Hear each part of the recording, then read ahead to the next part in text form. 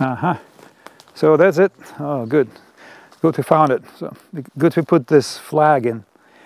So this is the side and so the data logger is, is right here under moss layer.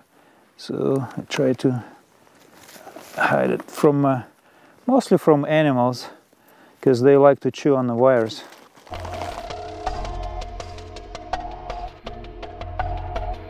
Some of the boreholes were established in uh, late 70s, early 80s by professor who worked here before me, he retired now, Professor Osterkamp.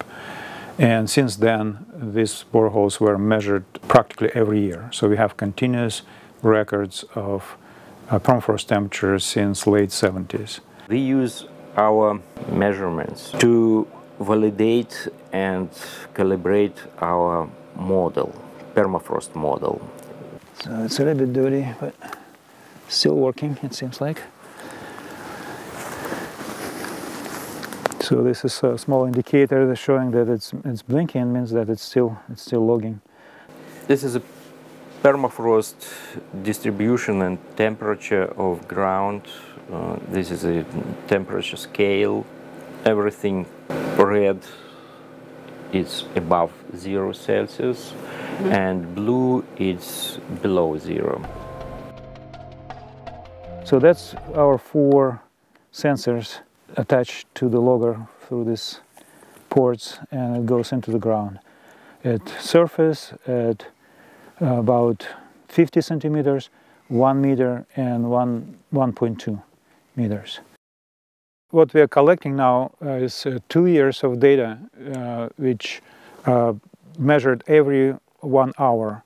So one hour interval, two years, and this is the graph you can see here.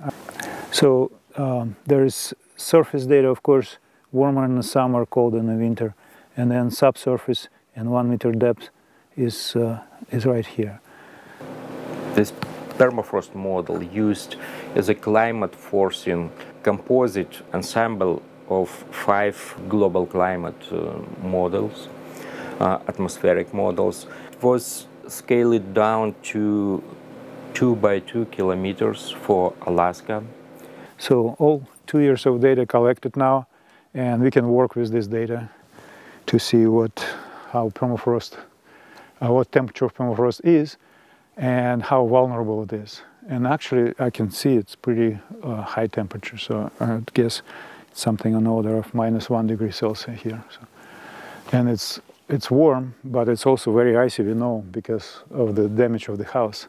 This picture uh, is kind of modern situation uh, for 2000 2009 it's exactly uh, what we have in comparison with our measurements it's I would say it's pretty realistic picture I will show you kind of forecast this is 220 229.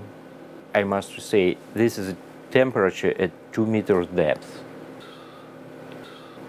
It does not mm, mean uh, permafrost disappeared completely. Mm -hmm. It's just mean annual temperature and 2 meters depth. Mm -hmm. uh, permafrost could be over there, mm -hmm. but uh, the table of permafrost just goes down but you can see the north slope is still stable permafrost. Mm -hmm. So yeah, Sergey collected data and then relaunch uh, started again, and now it's ready for another couple years of of collecting data.